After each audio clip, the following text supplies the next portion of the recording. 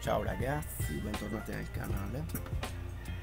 Praticamente oggi faccio il famoso video dei segreti di YouTube che non è che me li sono inventati, comunque io ho fatto 50.000 sbagli, quindi questo è il primo video. Dovrò iniziare da qualche parte. Quindi questo è il primo segreto. Il primo segreto è iniziare iniziare il canale perché tutti sono in quella situazione lì. Zero iscritti. Hanno zero iscritti tutti che hanno iniziato eh, anche il business online anche la, la scrittura del, dell'ebook eh, anche hanno aperto lo, non lo so anche un, un business vero non per forza online. Tutti hanno iniziato con zero. Zero persone, zero clienti, zero iscritti, zero like, zero commenti. Quindi dovete sapere prima di tutto questa cosa qua. Praticamente dopo la crisi economica del 2008 YouTube è diventata una fetta importante del mercato che praticamente nel 2020 solo con la monetizzazione sono stati ottenuti 20 miliardi di dollari nel 2020. Quindi dopo la crisi del 2008 YouTube, perché YouTube è iniziato nel 2006-2007 quando il primo video ha fatto i 100 milioni di questo famoso uh, che faceva parte di Google che è andato allo zoo e ha fatto 100 milioni di views quindi si è capito il potenziale che aveva questa piattaforma. Ma adesso praticamente è diventato il nuovo rinascimento del lavoro. Che praticamente YouTube sta dando lavoro adesso nel 2022 a 30 milioni di persone ok? Hanno tipo 6 zeri. Quindi sono diventati ricchi comunque migliaia e migliaia eh, e milioni di persone hanno una, una fonte di reddito quindi anche io che io una mia per adesso il canale per me è una mancia siccome ho lavorato anche nella ristorazione per qualche mese ho visto le mance quindi per me youtube è la mancia. Poi spero che diventi il primo tassello importante, cioè che io carico il video mi diventa un buon business online e posso avere il, il salario, insomma. Quindi c'è una strategia da seguire. Quindi ci sono le famose 7C in inglese. In inglese 7C che serve courage, cioè uno deve avere il coraggio di buttarsi in un progetto online. Clarity, cioè la chiarezza nella mente, qual è il progetto. Cioè uno deve averlo chiaro. Quindi ci sono vari esempi. Per esempio, uno dei più famosi per me è Bruce Lee, che lui quando arrivò negli Stati Uniti, lui aveva già chiaro qual era il suo progetto. Poi il canale. Punto 3. Il canale eh, ti diventa una parte di te stesso. Quindi il canale è una, una big C, una grande C, che devi avere il coraggio, la chiarezza della mente e il canale, sapere dove deve andare il canale. Poi devi contenuti, perché comunque non è che se carichi qualsiasi video a caso, deve avere dei contenuti di intrattenimento è che creino interesse. Poi deve avere la, la quinta C, la community, cioè la comunità che ti aiuta. Quindi vanno bene i gruppi Facebook, va bene Reddit, va bene anche avere la pagina Facebook, il gruppo Telegram, perché quella è la community che ti supporta nei momenti che ti sembra che il canale è fermo perché a volte succede così, il canale è fermo, io so di persone che hanno lasciato, abbandonato la community e il canale senza fare nomi nella YouTube Italia. Poi devi avere il cash. Il cash cioè sarebbe il guadagno, perché se tu fai una cosa che ti piace e non guadagni, quello è un hobby. Ma se tu fai un guadagno dalla cosa che ti piace, si dice anche in giapponese ikigai, cioè il lavoro che ti piace e quindi guadagni. Quindi hai un ritorno economico. Quindi se no rimane hobby. Invece se vuoi che diventi un business online, una fonte alternativa di guadagno, deve avere un ritorno economico. Poi il punto numero 7 è la costanza. Perché eh, YouTube non è una gara sprint. YouTube nello sport sarebbe più come una maratona. Quindi sono rari i casi che mettono un video e esplode. La maggior parte, il 75% dei canali, è perché ci ha messo costanza. E non sono nati per caso questi canali ma perché l'algoritmo li premia a una certa quando tu metti thumbnail giusti descrizione giusta tag giusti il canale lo premia youtube. Quindi passiamo a ogni punto. Quindi il coraggio praticamente non è che vuol dire che tu non hai paura. Coraggio vuol dire che tu accendi il coraggio nonostante la paura. Perché la paura c'è siamo tutti timidi, perché quello è una cosa grande. Anch'io, per esempio, la mia debolezza è un po' la timidezza. Quindi questa cosa di riprendersi con la telecamera già affronti la tua timidezza. Quindi questo si chiama coraggio. Il coraggio non è non avere paura, ma affrontarla senza rimanere fermi. Quindi un grande scrittore, Zig Ziglar, eh, pensatore americano, ha detto non sei, non hai bisogno di essere grande all'inizio, ma iniziare a essere grande. Cioè non è eh, l'inizio, è l'arrivo. Comunque lo dicono Aldo, anche Aldo, Giovanni e Giacomo il leone si deve svegliare prima, la gazzella prima, devono correre. E eh, nei business online è così. Quindi c'è anche la paura di essere giudicati e anche la paura di avere dei commenti negativi o le famose critiche distruttive. Quindi bisogna avere il coraggio di affrontarle queste cose. Quindi devi eh, armarti di coraggio e iniziare. Iniziare a caricare i video. Affrontare i commenti negativi e il troll. Perché purtroppo questo è uno dei, dei punti che nessuno dice. Purtroppo è pieno di persone negative su YouTube e troll che ti commentano, ti mettono commenti che non c'entrano niente. Quindi è una realtà e ti devi preparare a quello ma anche se apri un business eh, vero, negozio, ti devi preparare alla fetta di mercato che gli stai antipatico. Stai antipatico solo perché hai aperto il canale, non perché ce l'hanno in particolare con te, ma perché loro hanno qualcosa in particolare nella loro vita. Quando uno è negativo e diventa troll è perché ha problemi lui, non perché hai problemi tu.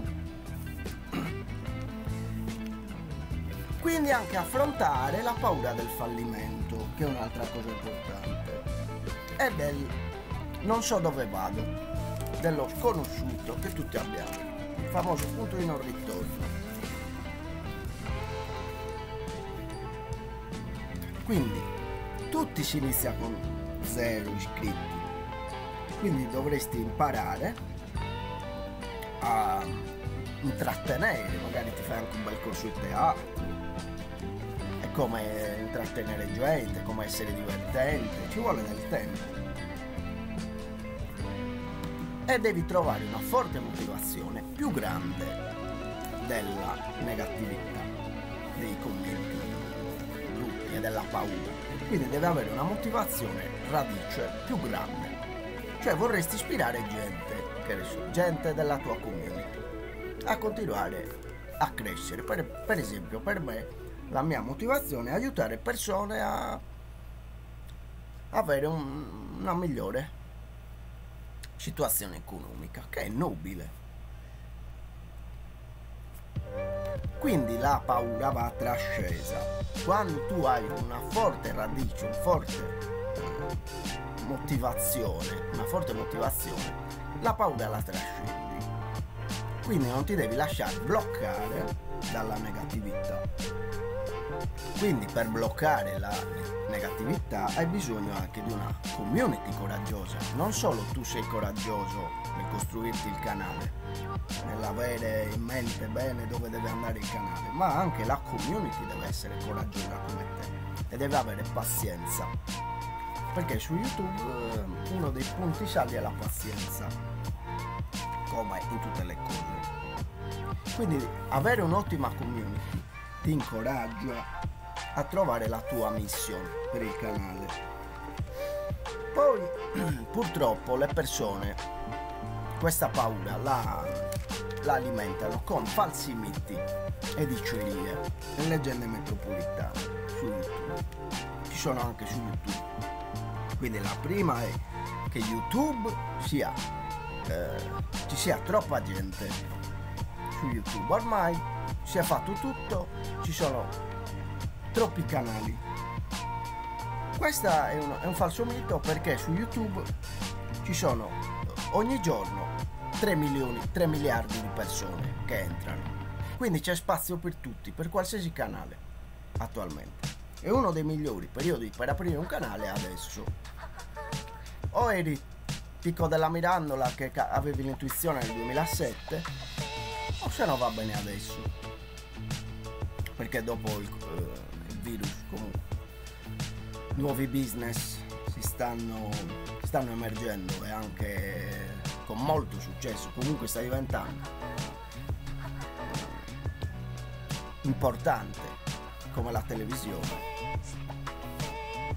Poi alcuni pensano un altro falso mito che non ci siano abbastanza soldi quando devi iniziare deve avere un budget Invece adesso se hai il wifi e un ottimo smartphone anche di, media, di medio costo puoi già iniziare a fare i tuoi video.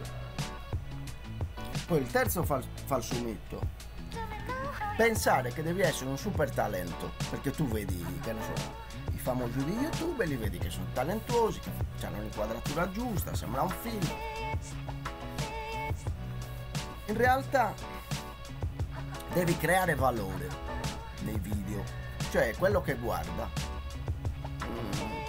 il tuo video pensa che, che c'è un valore, che c'è una buona storia, un buon contenuto e quindi non c'è bisogno di avere chissà quali skill per creare questo, ma um, quelle, quei, quei punti che ho detto prima, coraggio, il contenuto, il canale, quando fai tutti i, se- i sette punti, allora le persone iniziano a vedere valore nel contenuto puoi pensare che non ci sia abbastanza tempo.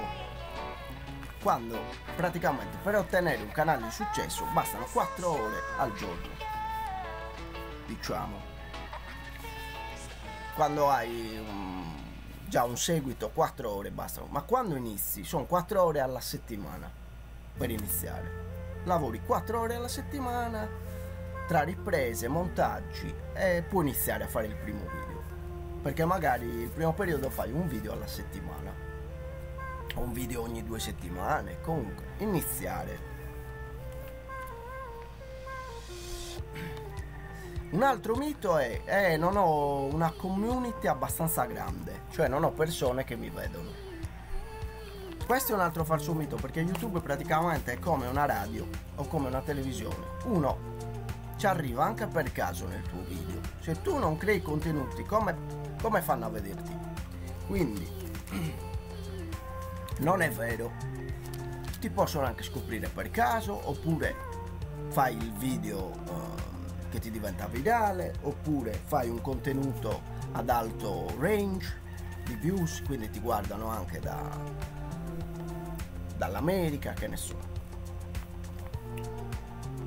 Poi uh, un altro punto Qualcuno ha già pensato questa cosa qua. è un altro falso mito.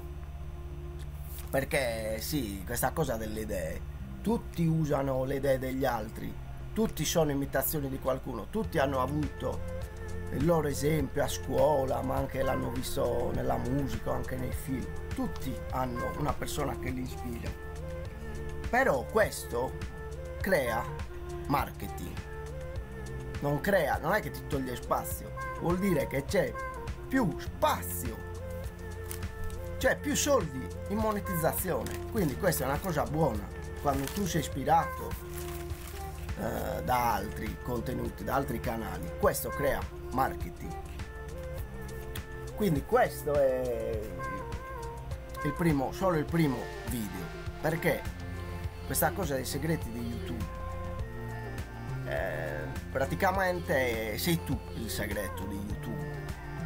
Come tu ti poni. Se tu ti poni che ti meriti i 10.000 iscritti li otterrai. C'è la legge di attrazione anche. Ovviamente ormai la legge di attrazione è su tutto. Se tu ti poni, per esempio io so di questa famosa fashion blogger eh, il canale l'ha impostato, faceva lo studio, faceva vedere di cosa voleva parlare e poi ha fatto i bigliettini da visita. Quindi quando andava in pizzeria lasciava il bigliettino da visita. Comunque lo, la prendi come un vero lavoro. Cioè fai i bigliettini da visita, o fai le magliettine, o fai i cappellini, o fai i gadget. Io li, li sto già facendo nel canale. Solo che purtroppo um, YouTube eh, li blocca. Praticamente io ce li ho già collegati col canale ma si possono vedere solo dagli Stati Uniti. Se volete entrare e vedere i miei gadget dovete andare nel link sotto perché comunque lo metto. Se qualcuno gli piace il cappellino e se qualcuno è intenzionato a prendere il mio gadget comunque io gli spiego come avere lo sconto e pagarlo meno perché purtroppo spread uh, fa certi prezzi quindi dovete prendere la magliettina meno, meno costosa perché Spreadshot mette la Champion la Champion costa 27-25 dollari invece dovete mettere la meno costosa che costa sui 12 dollari. Quindi se avete un ottimo con spese di spedizione eh, nella stessa nella maglietta comunque. Perché il buono di Spreadshot sono spese di spedizione che non sono molto alte. Quindi vi metto il link sotto. Comunque questa cosa dei segreti ricapitolando dipende tutto da te. Devi avere una chiarezza di, qual è il contenuto del canale. E anche togliersi dall'idea dalla testa certe dicerie eh, ormai ne parlano tutti ormai si è già fatto tutto. Non è vero su youtube ci sono miliardi e miliardi di persone ogni giorno. Quindi basta mettersi, registrare e avere una forte motivazione. Quindi eh, ci vediamo al prossimo video. Ciao!